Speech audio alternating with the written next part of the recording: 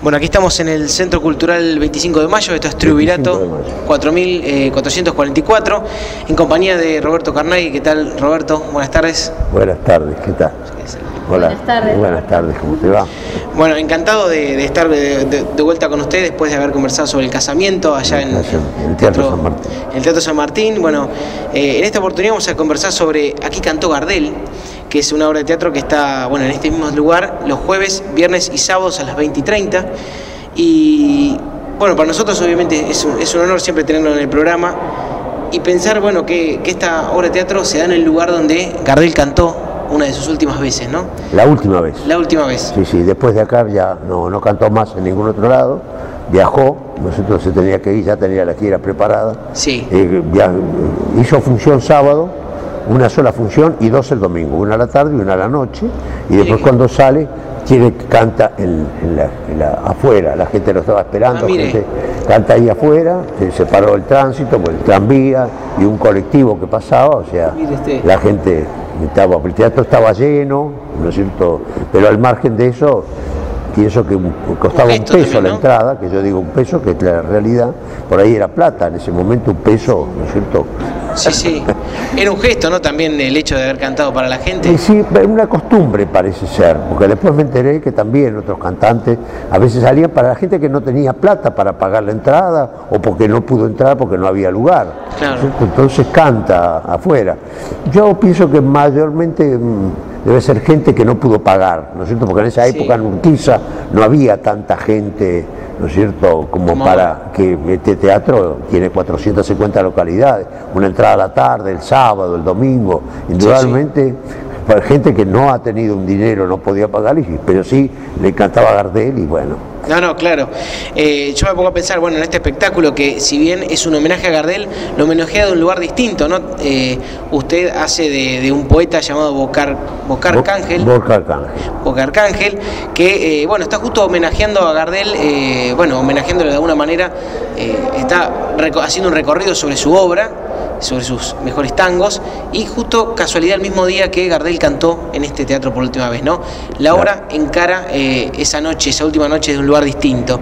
Eh, a mí me gustaría saber, ¿no? Eh, antes de conversar, hablar sobre la trama, de qué trata la obra, cómo está encarada, qué es para usted Gardel, ¿no? ¿Qué significa la figura del Zorzal?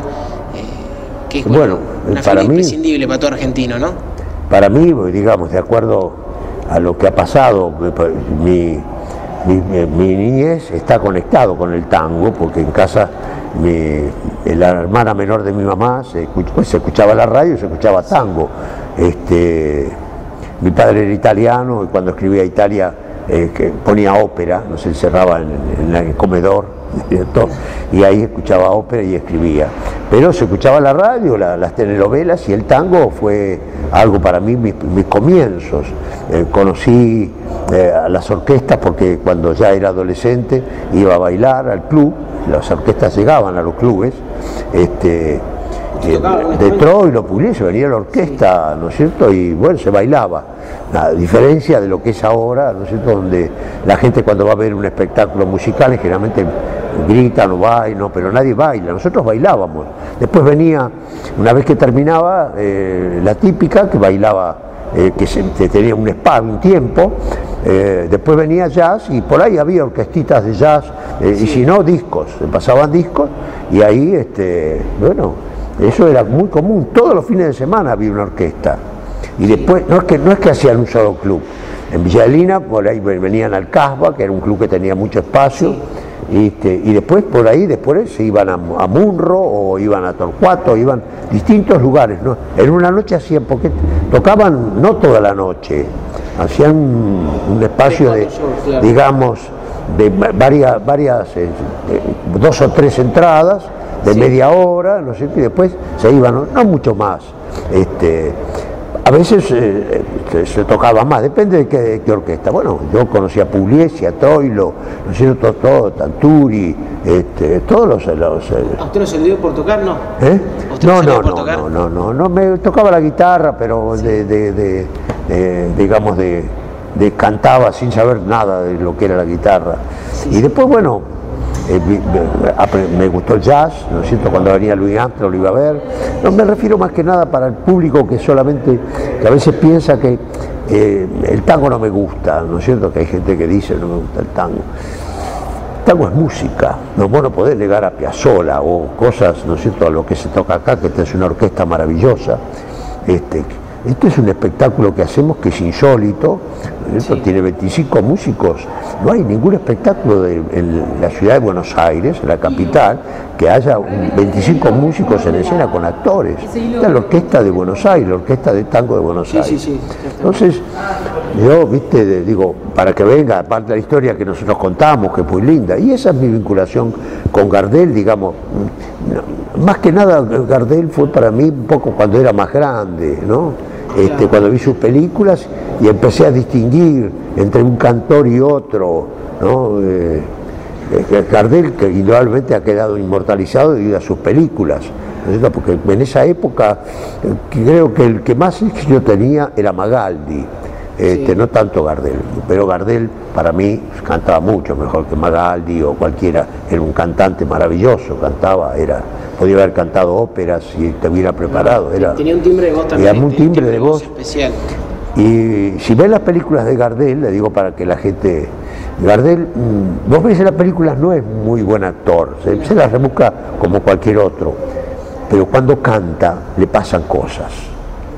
Por eso tiene, tiene una cosa, cuando canta Mi Buenos Aires, querido, eh, es otro, eh, ya no está actuando, eh, está sintiendo, y para mí eso es un cantante. ¿Cierto? Vos, eh, la ópera, yo escucho ópera a veces, pero vos escuchás a la Calas, y la Calas me, hace llorar, me emociona, porque tiene otra cosa, y eso es cantar, no es solamente ser afinado, cantar este, de alguna manera este, bien, y si no, ¿Qué te pasa con eso? Indudablemente, viste, cantar Mi Buenos Aires querido, en la película, estaba conectado con la realidad, el tango estaba, tenía que ver también, ¿no es cierto?, con el espacio donde uno vivía y demás. Bueno, esto es un poco lo que nosotros mostramos en la obra, ¿no? O sea, volver a recordar, este, y aparecen estos personajes que no lo pudieron ver, ¿no? Bueno, todo lo que pasa. Y lo nuestro se convierte en una comedia eh, musical con hay, momentos casi de vodevil, ¿no es cierto? Bueno, bueno este es atractivo justamente que eh, también de la apuesta, ¿no? que nos propone un viaje en el tiempo al espectador y que también nos involucra de alguna forma, eh, lo hace parte también al espectador, porque bueno, estamos entre ellos, entre estos personajes, y lo involucra sí o sí. Y bueno, yo quería saber qué te transmitió a vos eh, a ver eh, bueno, ponerte ahí en el escenario donde cantó Gardel, pero yo no me quedo solo con que aquí cantó Gardel, sino que sus tangos también siguen sonando. ¿Mi tangos cómo? Sus tangos también siguen sonando, como que no es que solo cantó, sino que los no, No, claro, se sigue cantando lo que él cantaba. Y tiene, vos viste, el público, el público mm, es mayormente, digamos, eh, de gente grande, pero la gente que joven que viene le, encanta, se quedan emocionados, es lo que te pasó a vos, sí, sí, chicos, ¿no es cierto? O sea que no es una cosa así distante, eh, fue lo primero que cuando me, me, propuso la obra eh, Nelson Valente, el director, que yo le dije, yo no quiero que hagamos una cosa nostálgica, o sea, que, que sea, no, tiene con momentos, ¿no es cierto?, de nostalgia en algún momento, pero el resto del espectáculo es divertido, ¿no es cierto? No, pasa por una cosa, no, el tango, no, una cosa triste, claro, sino que este, está vivo, y que, como lo vivía esa gente. ¿no es cierto? porque esa gente no lo vivía, porque vivía la actualidad, ahora es como decir, está allá en la... No, es, es, música, ¿no es cierto? Bueno, y bueno, los chicos y la gente que canta son maravillosos, vivieron buenos actores, y bueno, creemos, creo que hacemos un espectáculo eh, no común, ¿no es cierto?, dentro del musical, ¿no es cierto? Y fundamentalmente teniendo esa orquesta. Cuachi, Juan Carlos Cuachi y Marconi, recién entró Marconi, una semana dirige uno, otra semana ah, dirige otra, claro, los dos son los directores, la orquesta es mucho más grande, lo que pasa es que no entran los músicos en el escenario, es una orquesta de, de, 30 a 40 músicos, este, acá hay 25 más o menos, 25, 30 a veces depende. Claro, bueno, yo me ponía a pensar en esta obra donde indudablemente ocurre la magia. Eh, a mí me, ha conmovido eh, bastante porque toca fibras sensibles, ¿no? El hecho de, la nostalgia, de, que a veces hay un pasado, ¿no? un pasado. Yo me pongo a pensar que bueno, su personaje cuenta, por ejemplo, aquella noche, última noche cuando cantó Gardel, que influyó, que, marcó su vida, ¿no? Que, que, una chica haya venido y le diga, escúchame, pibe, levantate, que te regalo mi entrada para que entres en lugar mío. Así comienza eh, a contar El espectáculo comienza, o sea, empiezo a contar. Sí. Miramos, es increíble, pero eh, la semana pasada este, nosotros tuvimos un espectador que vino, que lo vio a Gardel cuando tenía seis años. No lo puedo creer. Claro. Este, bueno, toda la gente después lo saludamos al final, con fotos con él. Vino con el padre, este, tenía seis años. Este, eh, y cuando salió Gardel por esta puerta, dice, estaba distinto, eh, ya venía con la guitarra en la mano Gardel para cantar en la calle. y estaba ahí y él le dijo al padre, papá, Gardel, y Gardel dijo, sí, pibe, ahora voy a cantar. ¿No es cierto? Dice, y bueno, contó, tiene 92 años ahora, era de, es de 1927. Este, Yo cuento mm, como que tengo ocho, ¿no es cierto? Pero había una persona.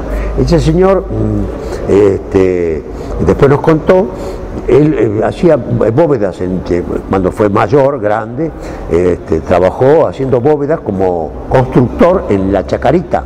Ah, Entonces todos los días toda la gente se preguntaba, porque hay músicos que iban a la chacarita y veían a Gardel siempre con un cigarrillo, se los ponía este hombre ponía un cigarrillo en los dedos de Gardel todos los días. esa historia igual. y trabajó hasta los 70 años como constructor, ¿no es cierto? Ahí. Este, Bueno, o sea, una persona, un chico, bueno, y hablamos de eso, del barrio. En el lugar donde vos, el barrio, lo que tiene que yo, mi barrio es mi barrio, ¿no es cierto? Se ha perdido ahora, ¿no es cierto? La cosa de, pero igualmente acá en Urquiza, este, la gente se considera Urquiza, tiene una identidad. Ahí está, de otra manera distinta que la otra, ¿no? A mí me gustaría preguntarle también, eh, ya que en la obra recrean esta, ¿no? Que, cuántas veces en la vida no viene alguien y te da esa, esa tarjeta, esa invitación, esa entrada hacia que vos sueñes con un futuro, ¿no? Con, como quizás a usted le ocurrió alguna vez eh, esa clave para ser actor, ¿no? ¿Usted a quién cree que, o de quién cree que usted recibió alguna de esa invitación en la vida real? ¿no? Claro, sí, sí. ¿O a quién le Yo soy actor gracias a, a una persona, bueno, que Camilo da Pasano, este, que era profesor en la Escuela Nacional de Arte Dramático, se llamaba Conservatorio, bueno, Escuela Nacional de Dramático, bueno, pues yo empecé a hacer teatro en San Isidro, él fue el que eh, un día estábamos haciendo en familia de Florencio Sánchez, yo hacía Damián, y había un pasillo, me acuerdo, en el lugar, porque era una escuela que tenía un salón de actos y ahí nosotros trabajamos ahí. Este, y él me dijo, usted tiene ciertas condiciones porque no estudia. Y fue ahí donde yo fui al conservatorio, rendí examen, se rendía, había que rendir dos exámenes antes de entrar para ver si rendí examen. Y yo trabajaba, ganaba muy bien, pero los horarios no coincidían. Yo tenía que entrar al conservatorio seis menos cuarto y yo salía del empleo a las seis en Paseo Colón y Garay, en Grafex y yo llegaba tarde, no podía, ¿no es cierto? Entonces el director de, Nocera me llamó y me dijo, mire, usted tiene que venir acá a las seis menos cuarto. Este, yo no puedo permitir que usted venga, ¿no es cierto? Se pierde casi la primera clase, la pierde. Este, si no lo soluciona en un mes, en este primer mes, este, se tiene que ir. Y entonces yo dejo mi trabajo, conseguí otro trabajo igualmente, pero renuncié a mi trabajo que yo ganaba muy bien, no, no, tenía 20 años, ¿no es cierto? Y ganaba bien, pero empecé a trabajar a los 16 con relación de dependencia, porque ahí decidí. Fue un momento de decisión. Es decir, voy a, cuando estaba en San Isidro yo no, no, no pensaba ser actor, pensaba en una cosa diletante, me gustaba, trabajaba, pero no vivir de, de una profesión de alguna manera que tampoco era que mañana, una vez que egresaba al conservatorio, iba a tener trabajo, pero uno decide, fue con una decisión, y tomé otro trabajo que terminaba a las 3 de la tarde. Me levantaba a las 6 para entrar a ese laburo, este, o sea, fue un momento de decisión, pero porque alguien me dijo, usted tiene ciertas condiciones. Para mí esto es fundamental. Ese fue, su, ticket, quizás, fue su ¿Eh? ticket. Quizás es mi ticket, él me dio el ticket, me pasó el ticket.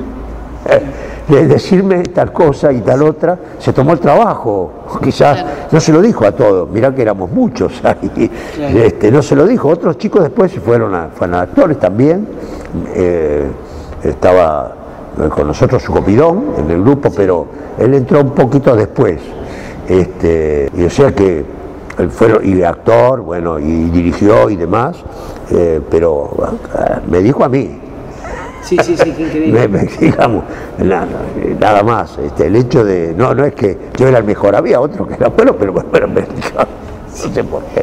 Este, por ahí estaba dentro del estilo que él consideraba o lo que sea. Este, y eso, bueno, me, definió después de alguna manera, ¿no? O sea, otra gente también, eh, el gesto es lo que te quería decir. Para mí eso es fundamental. ¿Viste? No es solamente decir eh, yo quiero ser actor o yo quiero ser músico, hay que tener condiciones. ¿Me entendés? O sea, es lo primero que creo que alguien se lo tiene que preguntar, ¿cierto? Para ser médico, para ser otra mente, te, tiene que gustar la profesión, no es saber, para, para disfrutarla y gozar, no es solamente decir, bueno, voy a hacer tal cosa porque voy a ganar dinero. Sí. Eh, no es que yo fui elegí eso porque iba a ser famoso o no. No sabía si iba a ser famoso o no. no. Me, gustaba ser actor. Eh, es lo primero que creo que alguien se lo tiene que preguntar. Yo jugué al fútbol y, pude, pude haber, eh, quizás si hubiera seguido, quizás hubiera, pero no hubiera sido un buen jugador. De eso estoy seguro. Bueno, ¿No es cierto? Entonces, quiero decir, el fútbol también, ¿no es cierto? Pero es, es, como decir, no solamente estás en un lugar, sino como una decisión. Es que no todo el mundo tiene esa suerte. Pero se lo pregunto cuando alguien me dice, eh, yo quiero ser actor, ¿a quién tengo que ir a ver? ¿Dónde a estudiar? Este, ¿viste? Vos quiero estudiar, ve, ¿no es cierto? Porque, bueno, eso es lo que yo pienso, ¿no? Sí, son esos gestos que te cambian la vida rotundamente, son esos gestos significativos que te marcan para toda la vida. Bueno, justamente esta, esta, historia, este, ¿no? Mi padre me, lo primero que me dijo, ¿cómo dejas el trabajo? Yo, ganaba, más que mi viejo. Claro, sí, Estando en la misma empresa, mi viejo hacía otro trabajo, pero este, yo era, vendía, tenía un sueldo y aparte vendía. Mi papá este, no podía creer que yo dejara ese trabajo, que un trabajo que todos era otra época, eh, vos llegabas a ser gerente, la empresa era una empresa muy grande, tenía sucursales en México, en Chile, en Uruguay, en Paraguay, era una empresa realmente la más importante en el mundo de la imprenta. Este, y yo dejaba eso. Después tuve mis compañeros, cuando he trabajado en el Maipo, no, en teatro nunca vinieron, pero cuando trabajé en el Maipo aparecieron los compañeros que, eran gerentes, que bajaron de Córdoba o de Mendoza, que tenían una reunión acá, me dijeron, che, Carnagi, te queremos ir, me esperaron porque no tenía mi teléfono y nada, pero queremos que, que, Olmedo diga tal cosa de nosotros.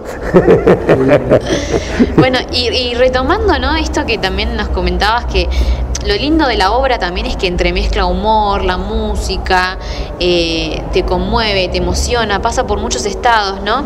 Y sobre todo cuando Pupé, esta joven que vuelve a su barrio eh, y ve todo tan, tan distinto, eh, yo me ponía a pensar, ¿no? Dentro de unos años cuando nosotros... estas cosas cambien nuestros lugares de pertenencia, los lugares donde nosotros nos sentimos cómodos, nos sentimos bien. Y yo lo que le quería preguntar es qué lugar elegirías que, te gustaría que quede intacto para, para siempre, como ese lugar de, refugio donde uno se siente... Un lugar que me gustaría que quedara intacto, en general tiene que ver, ya sé que no, que no existe, ¿no es cierto? No, no, pero eh, no, elegiría siempre algún lugar donde me he ido de vacaciones, ah, ¿no es cierto? Y que también me hubiera gustado que estuviera intacto. Siempre busqué, eh, cuando era chico me iba, iba a Uruguay, porque tenía amigos en Uruguay, este, no a Punta del Este. Este, yo conocí Punta del Este cuando no existía Punta del Este casi, yo era muy pibe. Eh, empecé a ir a Uruguay a, los 16 años, 17 años. Ya trabajaba, entonces tenía amigos y fui allá. Este, no, eh, digamos, no exactamente Uruguay, sería un lugar de acá de la Argentina que está cambiado, ¿no es cierto?, totalmente. de donde mm, disfruté muchísimo, que iba, fui varias veces con mi familia, lugares de muy poca gente, muy poca gente, ¿no es cierto? Encontrar contacto con la naturaleza, ¿no es cierto? Donde mis hijos disfrutaron, disfrutaron, gozaban, ¿no es cierto? Bueno, ese tipo de cosas, esos lugares que no, cada vez menos encontrás. Me hubiera gustado que ese lugar, que es más de la Mar de las Pampas. Ah, mire qué lindo. Qué ¿no es cierto? Cuando yo conocí Mar de las Pampas, cuando no iba nadie, no había, no había ningún restaurante, no había nada, nada, no existía el teléfono, no Claro, entonces juntábamos hongos porque la persona que me alquiló era un bañero, nos dijo cuáles eran los hongos para juntar. Este, mis hijos que construían, porque había gente que íbamos a la playa, jugábamos, comíamos pescaditos, hacíamos bueno. Es un lugar que yo hubiera mantenido y bueno, otros lugares que también se transformaron. Claro. Pero no, no, también porque el barrio, cuando el barrio de Villadelina cambió, yo sabía que iba a cambiar, también volver de nuevo a eso, volver a ser chico, bueno, sí, correr por la calle de tierra, cuando llovía nos poníamos una bolsa y íbamos por el barro descalzo corriendo, Este, el fútbol, lo que sea, bueno, son espacios donde uno fue, fue feliz, también, también fui feliz de grande y bueno, Sí. este, y disfruto también mi casa, ¿no? O sea, este, también, saber disfrutar lo que hay, lo que ocurre. Pero bueno, ya no es el barrio como antes existía, ¿no? Por ahí No. el- A mí, me, a mí me, esa parte me hizo como un hueco ¿no? en el pecho, ¿no? Por me emocioné. supuesto. Porque uno tiene, a pesar de, de los, de, de- de- por ahí la diferencia de edad y esas cosas, eh, uno siempre tiende a pensar que lo que pasó fue mejor y que por ahí cuando era chico había otras cosas en mi barrio, en Lugano, y, y ahora veo que bueno, cada vez hay menos. En el sur Claro. está como muy postergado. Y eso un poco, eh, el ahora yo no puedo evitar ponerme a llorar, por ejemplo, con esta chica, porque realmente ella lo decía de, de una interpretación tan profunda que, que cuando entró y empezó a mirar para arriba decía, yo quiero mirar el cielo y ahora está lleno de edificios. Claro, bueno, Y eso es algo que hasta lo vemos en la ciudad, cuando vamos, nos paramos hasta en Plaza de Mayo y vemos que eh, todo va, va creciendo para arriba, pareciera, ¿no? Pero la obra tiene eso de que de repente, bueno, tienes esa, esa comicidad, esa, esa, esa complicidad con el público muy importante, con- eh, que busca todo el tiempo conectarse, que lo hace, lo integra, y de repente tiene estos pequeños momentos de luz, de magia, Claro. que a uno lo dejan bollando, no lo dejan. Claro. Y eso es lo mágico que tiene la, la historia, creo, ¿no? El barrio cuando, lo que tenía cuando yo era chico, yo nací en Avellaneda, pero Sí. mi viejo compró y tenía cinco años ahí en Villa Avelina, que es partido de San Isidro. El barrio era, digamos, eh, se bailaba en la calle, ¿no es cierto? Eh, si mi mamá tenía que salir, me dejaba en la casa del vecino o la vecina también, eh, se dejaba y nos ayudaba. Mi viejo era carpintero y cuando hacía algún trabajo, además, para alguien, no se lo cobraba, le cobraba el material nada más, Sí, pero no le cobraba. Este, mi viejo edificó, y bueno, lo, le ayudé yo, pero eh, lo ayudaron los vecinos. Había un amigo de él que venía a ayudar los fines de semana para poner los ladrillos y lo fue construyendo. Y digamos, hoy, yo acá en Urquiza, cuando yo llegué eh, a donde estoy viviendo, que llegué en el año 78, primero viví en Avenida Los Incas y Triunvirato, departamentos, también todos nos conocíamos. más. Cuando llegué, lo primero que un señor que estaba que había al lado me dice, yo soy fulano de tal, para cualquier cosa, así hacia las 2 de la mañana, usted me toca el timbre, este, para lo que necesite, si necesita dinero también, ¿no es cierto? Porque no, no al día que yo llegué, sino un poco una vez que nos conocíamos. Y cambió. Ahora hay gente que pasa, entra con el auto y o deja el auto y no me saluda. O sea, Claro, ¿no? y, y toda la gente acá me, me- bueno, uno habla de esas cosas, ¿no? De gente grande, tal. y decir, ¿cómo no te saludo? ¿Vos sos conocido? No, hay gente que te mira, pero es como que no, no permite que vos, Sí. hola, ¿qué tal? Buen día, este, eh, hola, buen día, ¿viste? Pasa ahí, yo qué sé. Si me saludo con la persona que va, que baldea la vereda, con la empleada que baldea la Sí. buen día, hola, ¿qué tal? ¿No es cierto? O con los chicos, porque hay un, una. Y entonces un jardín, por haber hecho Soy Luna, entonces los Claro. chicos me miran y pasa la madre y me sonríe. Pero si no, eh, veo en el edificio, ¿no es cierto?, que está enfrente, que no, con coches importantes, pues es un edificio con gente que tiene, no es un departamentito sencillo, sino que indudablemente tiene eh, cierto dinero, y bueno, no, no veo a nadie que me diga hola, ¿qué tal? Y salíamos, cuando yo llegué, brindábamos, íbamos, y yo pasé Navidad, esos años nuevos, en la casa del vecino, toda mi familia con la familia de él. Eso no existe. Sí. Bueno, yo creo que la obra recupera. ¿eh? La obra recupera un claro, habla de eso, ¿no? recupera un poco estas cosas de que. la amistad, ¿no es cierto?, con el otro. Por lo menos nos pone en jaque, por un momento, por, esas, ese tiempo que dura la obra, nos pone en jaque estas cuestiones que creemos que, que por el día a día uno las va pasando por alto, pero digo, son cosas que se perdieron. Ya saber. Y sí, eh, yo creo que también la orquesta, ¿no? La orquesta, los actores, hacen que ese momento eh, de, de, magia hagan que por lo menos por un momento uno no deje de pensar que en ese lugar donde estés tan parados, en algún momento estuvo cantando Gardel, ¿no? y que ese lugar tiene un poquito de cantó, magia. Claro, cantó Magaldi. Ahí hay los, eh, están todos los, eh, los eh, cantantes, si ustedes leen después, que, pasaron por este teatro, ¿no es cierto? Sí, sí. Este, sí. Es eso, ¿no? O sea yo qué sé, de la misma manera cuando hoy algún, amás a alguien, ¿no es cierto?, de los cantantes, saber que podés un contacto, era distinto, ¿no? No, venía, era, no, no, vos no prendías el televisor, ¿no? Películas se pasaban de vez en cuando una película. Este, entonces el hecho de la persona en vivo, que vos vieras a alguien, tenía un atractivo que se ha perdido. Yo me, encantaría decirle que para nosotros es una alegría inmensa que ustedes nos reciban, que nos abran las puertas. Nosotros eh, nos sentimos, la verdad, eh, hablo por mí también, eh, que nos sentimos muy honrados de que usted nos, nos respete de la misma manera que nosotros respetamos a usted. No, no, no. valore nuestro trabajo, se acuerde de nosotros. Para nosotros es, muy importante que, usted nos, tome en cuenta y, nos gusta siempre que... Yo, te agradezco porque la verdad que cuando nos conocimos por primera vez en, casamiento que hicimos la, obra en San Martín, también, no, no. Muy ameno siempre. Me parece bárbaro, ¿viste? Es que yo creo que es eso. Ustedes son curiosos. La vida hay que ser curioso. Nunca decir, no, esto no me interesa. Primero ver, ¿viste? ¿Por qué? ¿Qué pasa? Y le gusta a determinada gente y a mí, ¿por qué no? ¿Viste? Es ser un curioso, curioso de la vida. Y después, bueno, decidís qué es lo que más te interesa o no. Pero no, ¿cierto? Yo creo, para mí, no es que descubrí esto cuando era chico, soy un curioso, sino que me fui dando cuenta después, ¿no es cierto?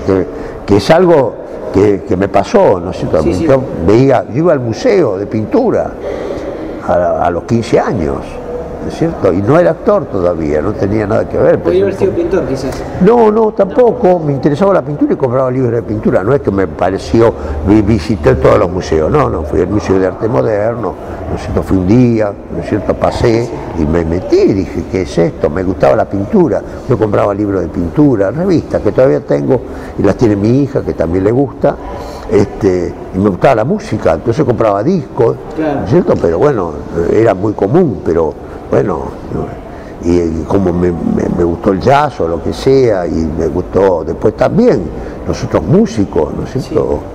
Este, no solamente los extranjeros, y, hoy escuchaba eh, lo de Mercedes Sosa, que estaban presentando Mercedes Sosa cuando viene, por, ¿no es cierto?, y cantan el ópera, ¿no es cierto? Bueno, no podés, una cantante maravillosa, ¿no es cierto?, varios. Este, es eso, no porque la música, porque fulana es de tal, eh, piensa de tal manera o de tal otra, no es una cantante genial y lo que dice es verdad. lo que dice verdad. Claro, dice, bueno, Atahualpa Yupanqui, ¿no es cierto? Que habla del hombre. Roberto, de mi, parte también eh, agradecerle por, por, el respeto, por eh, esperarnos, por el tiempo, porque siempre nos reciben muy de una manera muy cálida y la verdad es que, como dijo mi compañero, a mí también la obra me emocionó porque más allá de, llevarnos en el tiempo, te transmite muchas cosas con, el teatro, con esto que, decías al principio, esto de sentir, de transmitirte lo que, lo que uno siente, ¿no? lo que sienten esos personajes y la verdad es que admiramos... hablo por los dos, también admiramos mucho su trabajo. Para mí y para nosotros es un honor estar acá y agradecerle. muchísimas gracias, la verdad. Gracias a los.